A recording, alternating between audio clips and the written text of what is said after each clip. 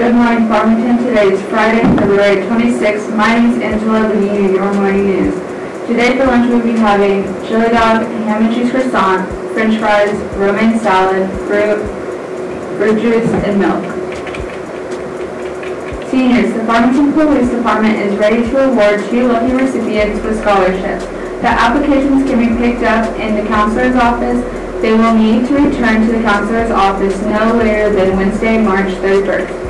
All details for the rewards will be listed on the scholarship application. Mr. Williams at the middle school is about to start back up Farmington's Ultimate Frisbee Club. If you are a past member or someone new who has an interest in playing Ultimate Frisbee, please let him know you would like to attend. His email is wwilliams at wwilliams@farmcards.org. The first meeting will be next Monday, March 1st, at the middle school gym right after school. Fellowship of Christian Athletes will meet every Friday morning at 7:30 in Miss Shelby's room D211. Any upcoming juniors or seniors who who have a job should consider taking Miss Gates' internship class next year. For more information, grab a packet from outside her room D101. If you have any questions, then email Miss Gates or stop in. Teachers, if you have any other announcements that you would like to be added, please contact or email Mr. Dean or fill out the Google form that was sent out via email. Well, that's going to do it for us today in the news. Up next, we have Marcus in the Card Center with the latest grades in sports. Farming, have a fantastic Friday, Farmington, and remember, wear your mask.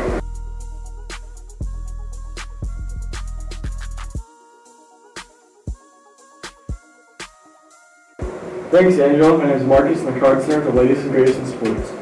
The Lady Northern basketball team dropped a hard-fought game last night to Pea Ridge Lady Blackhawks in the 1-4A West Conference Championship game by a score of 46-51. Lady Cardinals will be the two seed heading into the regional tournament next week in Ozark. The Lady Redbirds will play the Pottsville Apaches on Thursday, March 4th at 4 p.m. The game will be live streamed on live.farmcards.org or at Farmcards Live YouTube page. On the boys' side of things, congratulations Coach Taylor and the Cardinals as they capture the 4 4A West Conference title last night when they defeated the Berryville Bobcats 62 to 47. With the win, the Redbirds will be the number one seed next week's regional tournament in Ozark on Wednesday at 1 p.m.